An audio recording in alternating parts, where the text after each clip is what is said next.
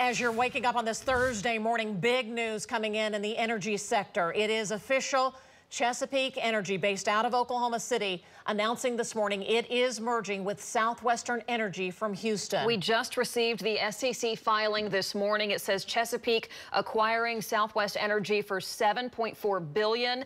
The new merger will create one of the largest natural gas producers in the U.S. The combined company will then be worth 24 billion dollars. It will have a new name after closing. We also know from the filing that the Chesapeake CEO will stay on with the new company. The headquarters will stay in Oklahoma City and maintain a presence in Houston. All of this coming out just moments ago. We're watching pre-market activity uh, very lightly. Chesapeake down just uh, 8 cents this morning, but it will see well Wall Street reacts to this uh, multi-billion dollar merger between Chesapeake and Southwestern. We'll be watching that through the day.